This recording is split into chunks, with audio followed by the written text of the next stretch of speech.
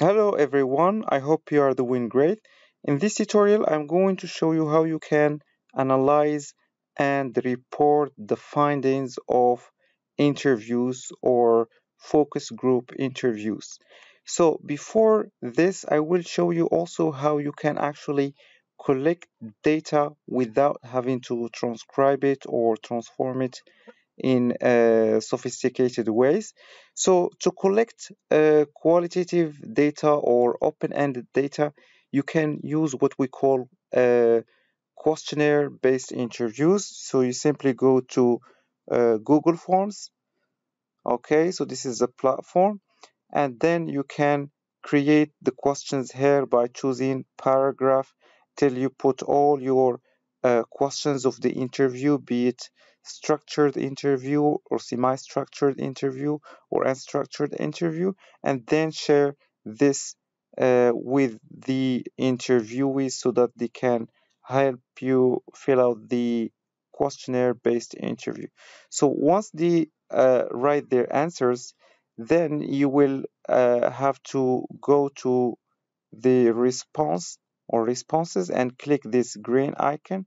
You will have this uh, Excel or spreadsheet and then you download it.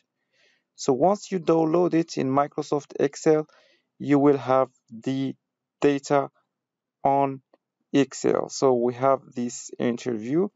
We need to uh, code the respondents by giving them numbers like from 1 to 10. Uh, we can present some of their demographic variables, etc. So once we, we do this, we can even compute some of the frequencies or percentages of, for instance, gender. We can compute that without having to code this. So we go to, just we select the data and then go to insert and click recommended charts.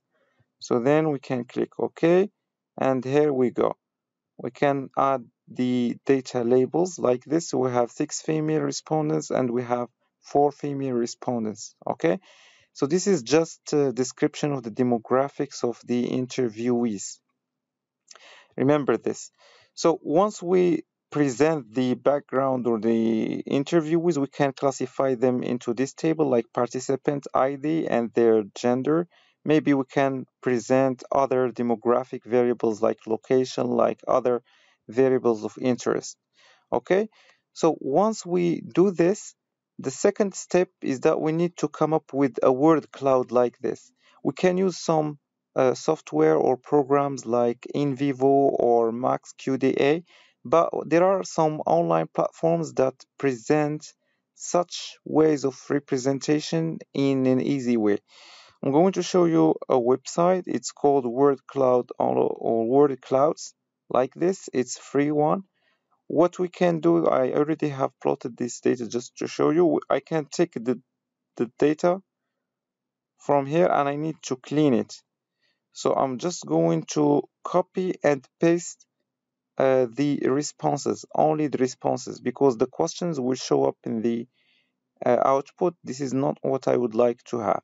So once I just copy this, I can go to this website and uh, copy, for instance, the the text etc there is a way to to do it. We can just choose from so we have different options have directions. Okay. We have word lists files etc extract words from text. Okay. And I'm going to paste this so we remember. And then click apply. And then we can choose the the shape etc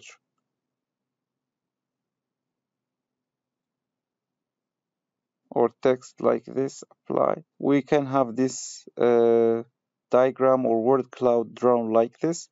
And then we can save this as an image for instance so there are many techniques that you can uh, use here, uh, word list, shapes, texts, etc. You can use whatever you want, like colored maps.